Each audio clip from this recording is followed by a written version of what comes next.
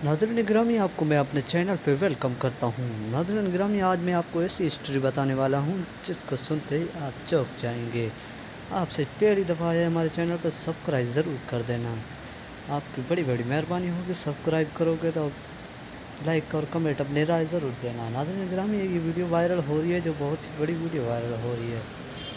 ये video India की बताई जा रही है। इस वीडियो का वायरल होने का मकसद यही है कि आप इस पिक्चर में देख सकते हैं किस तरह का एक सांप नज़र आ रहा है।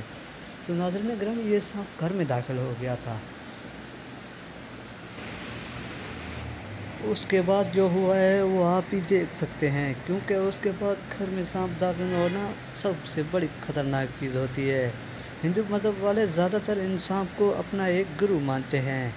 नाजरन ग्रामी एक सांप एक जहरीला ख़तरनाक सांप दुनिया में पाले जाते हैं। बस मुझे इजाज़त अगले वीडियो में।